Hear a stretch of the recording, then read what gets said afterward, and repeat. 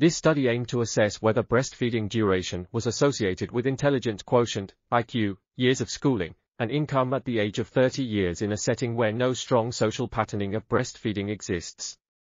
The study used a prospective, population-based birth cohort study of neonates launched in 1982 in Pelotas, Brazil.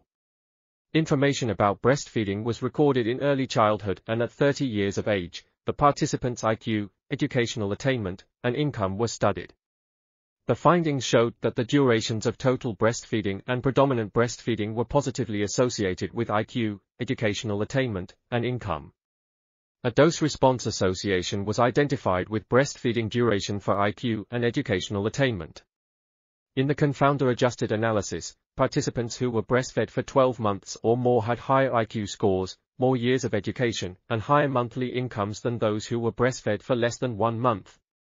The results suggested that IQ was responsible for 72% of the effect on income.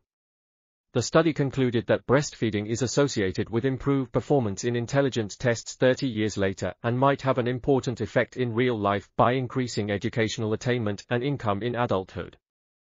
This article was authored by Professor Cesar G. Victora, PhD, Dr. Bernardo Lessa Horta, PhD, Christian Loret de Mola, PhD, and others.